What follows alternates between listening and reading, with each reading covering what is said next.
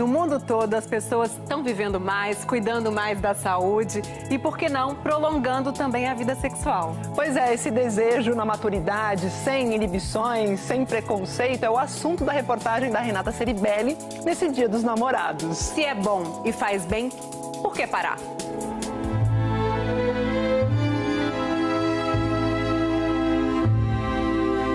Muita gente, ver imagens que sugerem uma vida sexual ativa entre pessoas mais velhas pode causar um certo estranhamento ou seria preconceito.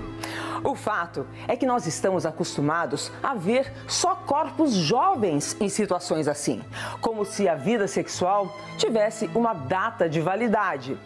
Só que estamos envelhecendo hoje muito mais ativos sexualmente. É a nova revolução sexual pós 60 anos. E as mulheres se sentem muito invisíveis depois dos 60 anos para o desejo masculino. Você passou por isso? Ah, eu tava me sentindo invisível casada. Depois que eu me separei, agora eu tô muito visível. Eu tô me sentindo, assim, valorizada como mulher. Você se separou com quantos anos? 64.